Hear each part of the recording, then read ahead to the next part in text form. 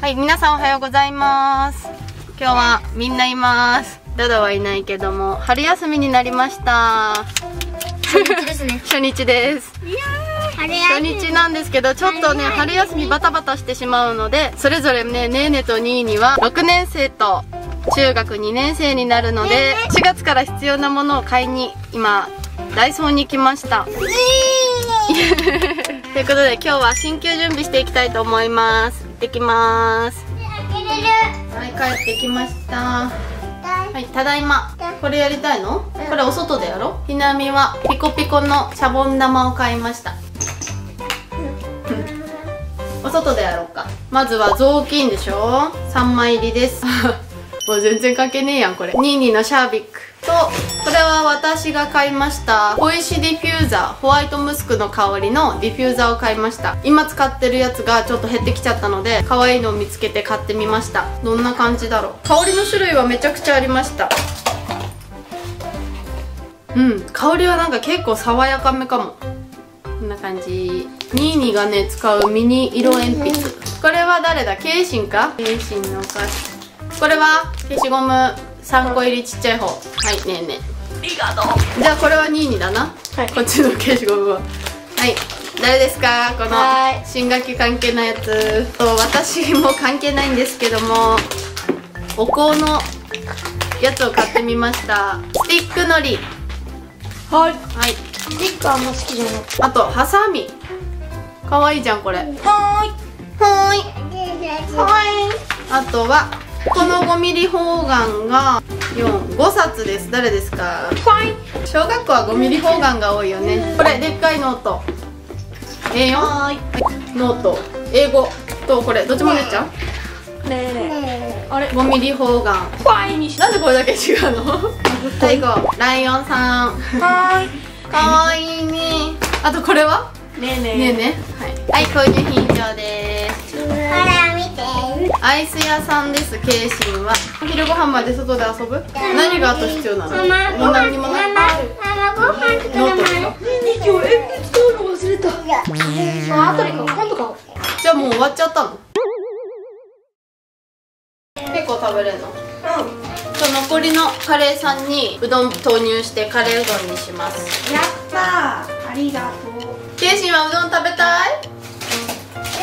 うん。うんうどん食べたい。カレーかける？いいらない？ああ。何人前？姉さんや。かけて三人とあケイシンもならああ一緒にってことね。2にはこれだそうです。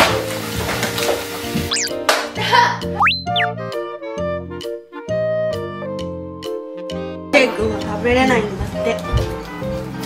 と ピーマンの肉詰め。ピーマン嫌い 初日のお昼ご飯は麺とピーマン。ねお昼ご飯困っちゃうね。